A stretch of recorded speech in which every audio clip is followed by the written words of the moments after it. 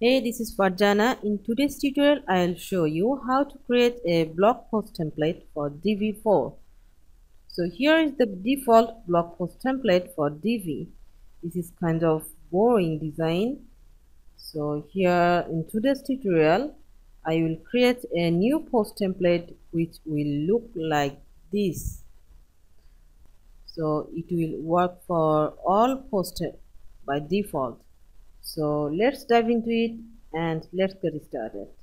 So for this I'm just going to my dashboard and then I'm going to Divi and Divi theme builder option. From here I'm just creating a new template and I'm selecting all posts. Now create the template so for changing this uh, content part only I'm just clicking on add custom body. So I'm going to add custom body. Now start building. So first I'm taking a new row here. And here I'm taking post title so from here I just only will check this title and categories. So I'm just uh, switching off this image. I'm going to element and switching off this uh, featured image. And also comment count and just uh, only want to show here the categories. So I'm also leaving date author and just title and below this uh, here is categories. Okay now I am creating a new section here. Regular section and single column. So for this section here I am just taking background image and here I will take from here this post featured image. Now save it. And now I want to move it to top. And here I'm adding some height or min height. So I'm going to sizing and min height 300 pixel okay. And here I'm going to our row settings and from here I just want to keep width to 60% so I am just reducing it to 60% just going to spacing and here I'm mm, keeping our margins to 0 top and bottom and also padding 0 for top and bottom okay now doing same for this section area and going to spacing. And from here I'm going just setting 0 for top and 0 for bottom. Now padding also 0 for top and bottom. Okay now I want to keep it up uh, actually over this image. So I'm going to this uh, module and going to design tab. And from here going to spacing. And here I'm adding some minus margin. So I'm just for here adding 100 pixel. So here I'm adding just some background color white and adding some padding from here let's add uh, 50 pixel for top and bottom and also 50 pixel for left and right. And I'm just adding some border. Let's try with 3 pixel and color we can okay keep it uh, black for now and our text alignment. I'm setting alignment center and I'm going to edit this text. So I'm just uh, making the font family to Montserrat and keeping the font size to 30 pixels okay now I'm just going to this meta text. So here I'm also changing this font style to I'm adding here something different. So I am adding Allura. And I'm just increasing my font size and changing this color. For now I'm just using here for orange you can also add here your theme color. Okay looks good. Now I'm going to save it. I'm going to save this whole section and crossing it and I have to save changes here. Okay now I'm going to refresh my blog page. Now so here is our post page till now. So it's looking good. Now I'm adding our next section. So I'm going to our builder again. Here we can decrease our spacing. Here seems too much spacing. So I'm decreasing my padding from spacing. And here I'm trying with 30 pixel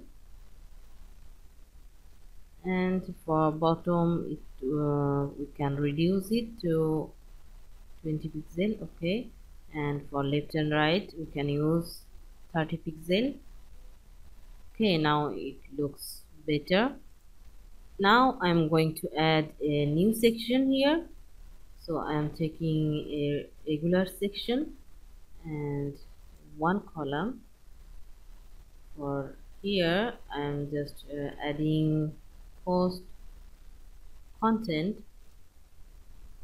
And here also I am decreasing our row width to I'm going to sizing and setting our width to same as before.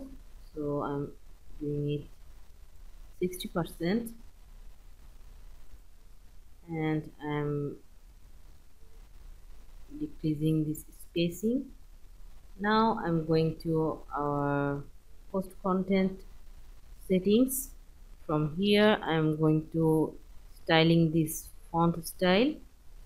So I'm changing uh, my font family to Montserrat to keep it constant. Here I'm using same font for all headings. So I'm just doing it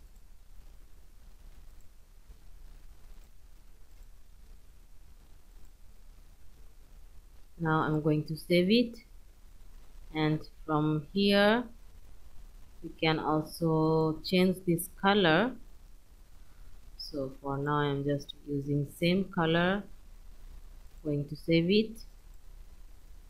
So below this section I want to add a new section uh, for author bio so I'm going to create a new row again. Sorry uh, I'm going to make it uh, for two columns. So in left side I will add author image and right side I will add some info about author. So I am just going to change these row settings and from here I'm just decreasing row width uh, same as before to 60 percent. Okay so left side I'm just going to add image and here I'm just deleting it and I'm going to add here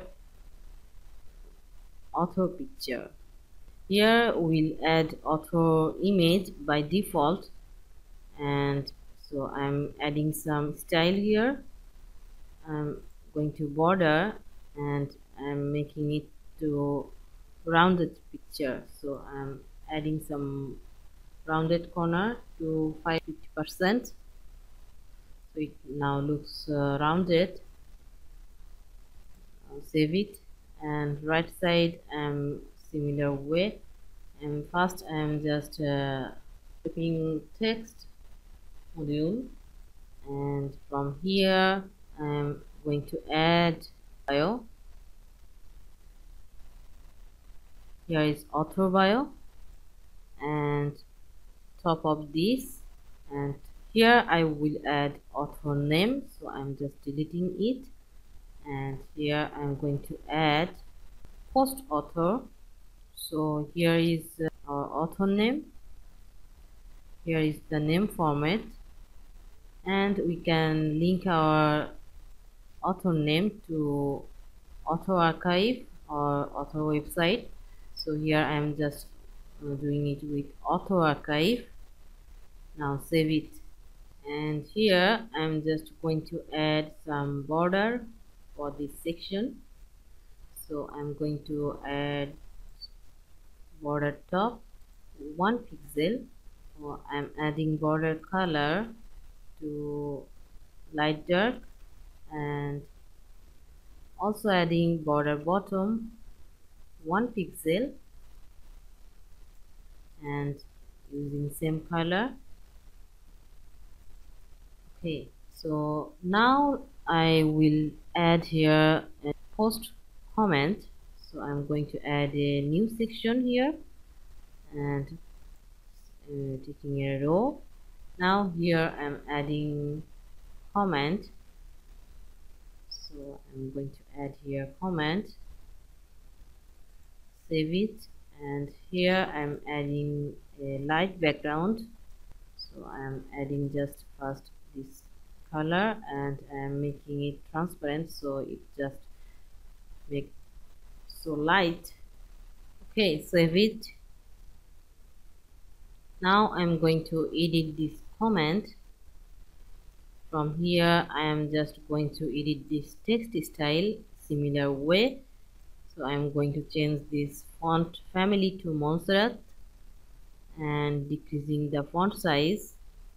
In same way I can change our font style from here and even we can change our button style from here. So you can make it align to left and we can change this button style to use custom style for this button. So I'm going to add some background color. So I'm going to add this background color to this color and border color also same and text color to white. Now going to save it and I'm going to save it. Now I'm refreshing my blog post page again so here is our post page style. So when we add a new post page uh, from our dashboard so we will get the same style again by default. Let's try it. So I'm going to post a new post from here. So post and add new post. So here I'm just typing this is another new post. And for now we can use our default editor. So I'm going to add some text here or just typing here. And below I'm going to add image. I'm going to add here a new image or like this and here I'm going to add a featured image from here.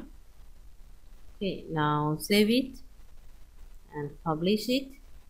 Now I'm going to view post. So we can see here is our post page style. We are getting this design by default. We need not to design again and again for all post page now if you want to add a new section here for subscription so we can also do this. So let's add to something here. So i'm going to again our builder. So i'm going to our dashboard again. And from here i'm going to again our theme builder. And going to here.